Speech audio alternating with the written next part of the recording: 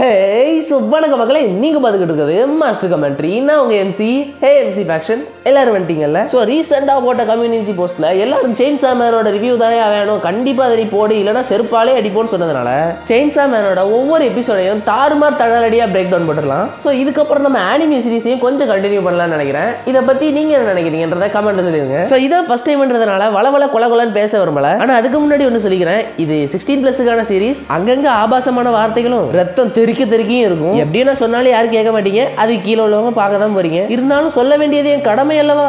அதனால நம்ம தலைமை கிக் பட் மாதிரி.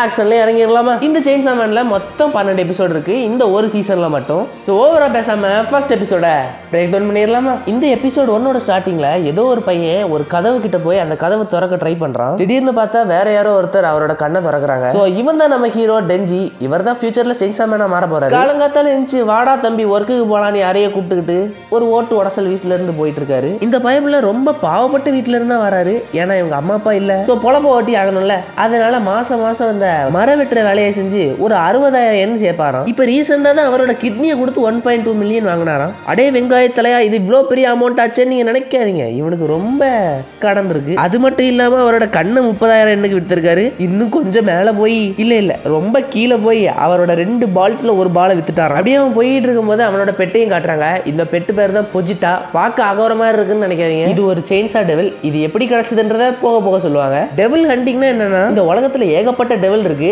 அது மனுஷங்களோட ரத்தத்தை குடிச்சு தன்னோட பவர் சேர்த்திக்கும். அப்பேற்பட்ட டெவில்ஸ் எல்லாம் அடக்கிறது தான் இவங்க வேலை. அப்பேற்பட்ட டெவில்ஸை அதோட உறுப்புகளை வெட்டி பிளாக் மார்க்கெட்ல வித்துருவாங்க. ஸோ இவனும் அதுக்கு தான் போயிட்டு இருக்கான். ஆரம்பமே ஒரு தாறுமாறு தடாலடியான ஒரு ஏலியன் கிட்ட தான் கூட்டிட்டு போறாங்க இந்த டெவில இவன் எப்படியோ கஷ்டப்பட்டு போராடி வெட்டி முடிச்சிடறான். அப்படிக்கா வெட்டி முடிச்ச அந்த டெவில இந்த தொப்பி போட்ட கண்ணாடி மாமா வந்து வாங்கிக்கிறாரு. உனக்கு நாலு லட்சம் என்ன தரேன்னு சொல்லி ஏமாத்திட்டு போகும்போது அறுபதாயிரம் தான் கொடுத்துட்டு போறாரு. அவன் அந்த பணத்தை வாங்கிட்டு ரோட்ல நடந்து போயிட்டு இருக்கும்போது அவன் டிரைவர் கேட்கிறாரு அந்த கண்ணாடி மாமாட்ட யோ மாமா இவனையே நம்ம டெவில் ஹண்டிங் எடுத்த. அது ஒன்றும் இல்லடா மருமான.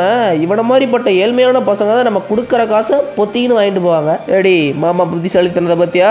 உண்மையிலேயே நீ கிரேட்டு தான் மாமா அப்படின்னு பேசிக்கிட்டே போயிட்டு இருப்பாங்க. இதுக்கப்புறம் நம்ம ஹீரோவும் அவனோட பெட் பொச்சிட்டாவும் அவங்க வீட்டில் ஒரே ஒரு சிங்கிள் பிரெட்டை மட்டும் வாங்கி ஆளுக்கு ஷேர் அடிச்சிட்டு இருப்பாங்க. என்ன பண்றது? ரொம்ப ஏழ்மை. இந்த இடத்துல தான் எப்படி இவனுக்கு பொச்சிட்டா கிடைச்சதுன்றத தெளிவாக காட்டுவாங்க. இந்த இடத்துல இவனோட அப்பாவோ அம்மாவோ யாரோ இறந்துட்டாங்க. இந்த தொப்பி மாமா இப்போவும் எனக்கு கடன் தான் வேணும். உங்க அப்பா நிறைய கடன் வாங்கிட்டான் அதனை நாளைக்குள்ள தரலன்னா உன்னை செதில் செதிலாக செதுக்கிடுவேன் பயமுடுத்திட்டு போறாரு. இந்த இடத்துல தான் அந்த மரத்துக்கிட்ட வந்த பொச்சிட்டா இவனை கடிக்கிறதுக்கு ரெடியா நிற்கும் இவனும் சொல்லுவான் எனக்கு இழக்கிறதுக்கு எதுவுமே இல்லை.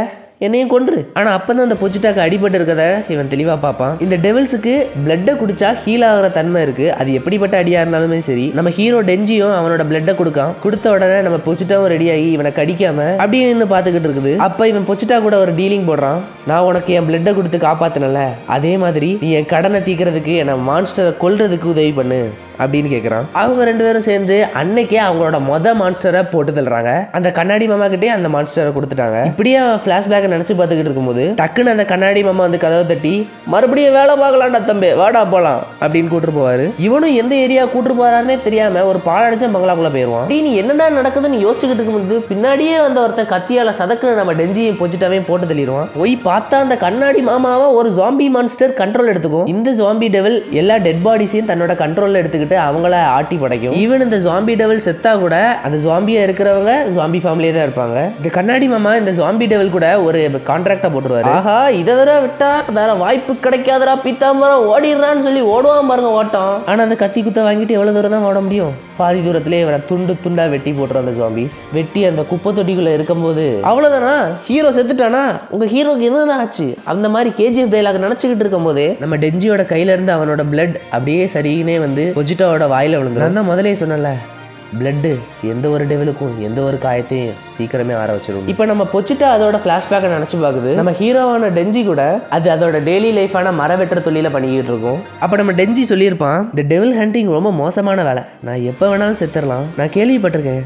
இந்த டெவல்ஸ் எல்லாமே அந்த ஹியூமன்ஸோட பாடியை ஹோஸ்ட்டாக கண்ட்ரோல் எடுத்துக்கலாம். நான் சாக மாட்டேன். இருந்தாலும் சொல்கிறேன் நான் செத்துட்டா என் பாடியை நீ கண்ட்ரோல் எடுத்துக்கலாம். உனக்கு நான் அதுக்கு ஃபுல் பர்மிஷன் தரேன். அப்படின்னு சொல்லி தூக்கி கொஞ்சிக்கிட்டு இருப்பார் நம்ம பொச்சிட்டாவை. அதோட அந்த ஃப்ளாஷ்பேக் முடிஞ்சு நம்ம டெஞ்சியோட பாடிக்குள்ளே பொச்சிட்டா ஊடுருவிக்கிட்டு இருக்கும். டெஞ்சியோட உடஞ்சி போன பாகம் எல்லாம் மறுபடியும் அவருக்குள்ளேயே வந்து சேரும். திடீர்னு பார்த்தா அவர் ஒரு உலகத்தில் இருப்பார். என்னாச்சு எனக்கு? பொச்சிட்டா நீ என்கிட்ட இங்கே இருக்க? என்னாச்சு? நம்ம செத்துட்டோமா அப்படின்னு கேட்டுட்டு இருக்கும்போது டக்குன்னு நம்ம பொச்சிட்டா பேச ஆரம்பிச்சிரும். இப்போ சொல்கிறேன் டெஞ்சி. என்னோட ஹார்ட்டை நான் உனக்கு தந்துட்டேன். அதுக்கு பதிலாக உன்னோட கனவுகள் நிறைஞ்ச உலகத்தை எனக்கு காட்டு. இதுதான் இப்போ நம்ம போட்டிருக்க ஒரு புது கான்ட்ராக்ட் அப்படின்னு நம்ம டெஞ்சி கிட்ட பொச்சிட்டா சொல்லிட்டு அது காணாமல் போயிடும் இதெல்லாம் கேட்கும் போதே ஹார்ட் டச்சிங்காக தான் இருக்கும். இப்போவும் நம்ம டெஞ்சிக்கு பொச்சிட்டா செத்ததை நம்ப முடியல. அவன் டக்குன்னு எந்திரிச்சு பார்க்குறான். பக்கத்தில் இருக்க பொச்சிட்டாவை காணும். அவன் அந்த கவலையில் இருக்கும்போதே அவனோட நெஞ்சில் பார்த்தா பொச்சிட்டாவோட வாலில் இருந்த அந்த சிம்பிள் இருக்கும். அந்த வாழை இழுத்தாதான் நம்ம பொச்சிட்டாவோட செயின்ஸாகவே ஸ்டார்ட் ஆகும். அதை பார்த்து அந்த ஜாம்பி மான்ஸ்டர் கிட்ட இப்போ வாங்கடான்னு இழுக்கும் போது கரெக்டாக எல்லா ஜாம்பி அவன் மேலே வந்து பாஞ்சிரும். உன்னை வெட்டி போட்டாதனடா நீ வர. உன்னை உயிரோட தின்னா என்ன பண்ணுவேன் அந்த ஜாம்பி கேட்க எல்லா அந்த அவனோட படை ஜாம்பிஸையும் நம்ம டெஞ்சியை சாப்பிட சொல்லுது. டெஞ்சியை சாப்பிட்டுக்கிட்டு இருக்கும் போதே சர சரன்னு ஒரு சத்தம். என்னன்னு பார்த்தா ரத்தம். சும்மா தெறிக்க தெறிக்க ரத்தம் பறக்க பறக்க நம்ம டெஞ்சி எல்லாமே போட்டு தள்ளுறான். பார்த்தா அவன் மூஞ்சி ஃபுல்லாக ஒரு செயின் சாவா மாறி இருக்கான் இப்போ அவன் ஒரு செயின்ஸா மாறிட்டான். நம்ம தெறிக்க தெறிக்க ஒரு பங்கமான சிரிப்பை போட்டுட்டு இப்போ வாங்கடா எவனா இருந்தாலும் வெட்டி சாய்க்கிறேன்னு சொல்லி தக தக தக தக தகன்னு சும்மா வெட்டி சாய்ச்சிட்டு போயிட்டே இருப்பாரு. அந்த ஜாம்பி டபுளை சும்மா துண்டு துண்டா வெட்டி நறுக்கி போட்டுருவாரு.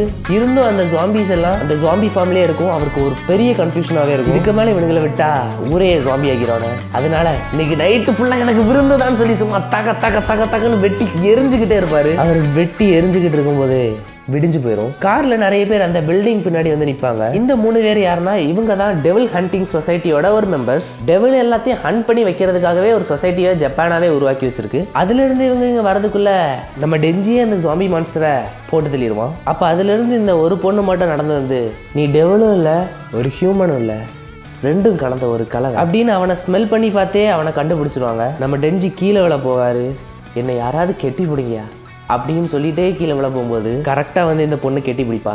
அப்போ அவனோட செயின்ஸா உருவம் மறைஞ்சு நார்மல் உருவத்துக்கு வந்துடுவான் அந்த பொண்ணு நம்ம டெஞ்சி அவனோட மடியில் படுக்க வச்சுக்கிட்டு உனக்கு ரெண்டே வழிதான் கண்ணு இருக்கு. ஒன்று என் கையாலேயே நான் உன்னை போட்டு தள்ளுறது. இன்னொன்று எங்கள் டெவில் ஹண்டிங் சொசைட்டியில் வந்து சேர்ந்துரு. அப்படின்னா பிரேக்ஃபாஸ்ட்டும் கிடைக்கும். இங்கே உன் கையாலேயே நான் இவனுங்களோட படுத்து தூங்குறதுல எனக்கு விருப்பம் இல்லை. ஆமாம் பிரேக்ஃபாஸ்ட்டுக்கு என்ன மெனு இருக்குது அப்படின்னு நம்ம டெஞ்சி கேட்பாரு இது ஒரு நல்ல முடிவு. அப்படின்னு சொல்லி இந்த எபிசோட முடிக்கிறாங்க. இந்த எபிசோடோட கடைசியில தான் ரத்தம் தெறிக்க தெறிக்க சும்மா தாறுமாறு தடாலடியாக கொடுத்துருப்பாங்க நான் ஒரு பத்து எபிசோடு கிட்ட பார்த்துருப்பேன். பார்த்த வரைக்கும் சும்மா தாறுமாறாக தான் இருந்தது. டெட்பூலுக்கு அண்ணன் மாதிரி சும்மா இறங்கி வந்து தாறுமாறா எல்லாரையும் கழுத்தை எடுத்து போட்டு கையை எடுத்து போட்டு சும்மா துண்டு துண்டு ஆக்கி போட்டிருப்பாரு. இதை பற்றி சொன்னால் சொல்லிக்கிட்டே போகலாம். பட் இருந்தாலும் இந்த எபிசோட பற்றி நீங்கள் என்ன நினைக்கிறீங்க? உங்களோட தாட்ஸ் உங்களோட பார்வைகளை மறக்காம கீழே கமெண்ட் பண்ணிருங்க. நான் பிரேக் டவுன் பண்ண விதம் நல்லா இருந்தா அடுத்த எபிசோட தொடர்ந்து தொடர்ந்து போடலாமான்றத மறக்காம கீழே கமெண்ட் பண்ணிடுங்க. அடுத்து ஒரு தாறுமாறு தடலடி வீடியோவில் உங்களை சந்திக்கிறேன். அது வரைக்கும் வரட்டா?